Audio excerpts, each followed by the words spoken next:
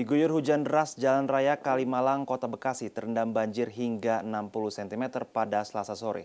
Akibatnya puluhan kendaraan roda dua yang nekat melintasi banjir mengalami mogok. Sementara di Bogor, tebing sepanjang puluhan meter di Komplek Kedung Badak Baru Kota Bogor longsor dan membuat jalan utama amblas.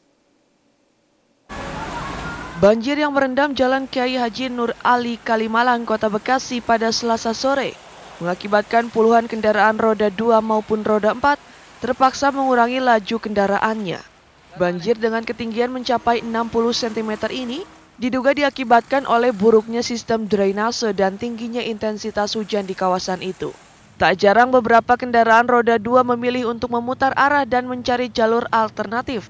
Pasalnya puluhan kendaraan roda dua yang nekat menerjang banjir mengalami mogok dan terpaksa harus mendorong kendaraannya bisa bisa dua kilo ke belakang. Dua kilo. Ini nggak beraniin robos nih bang? Wah kagak berani, ya buktinya banyak banget yang mati.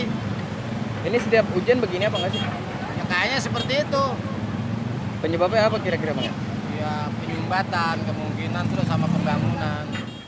Sementara itu di Bogor diduga tergerus arus sungai Ciliwung tebing turap setinggi 6 meter di komplek Kedung Badak Baru. Tanah Sareal selasa pagi longsor dan membuat jalan utama amplas sejauh puluhan meter. Akibatnya pos keamanan dan taman kompleks hancur hingga membuat sebagian rumah warga terisolir. Kejadian bermula usai kota Bogor diguyur hujan deras pada Senin semalam. Diduga pondasi turap yang rapuh tak kuat menahan gerusan arus sungai yang deras.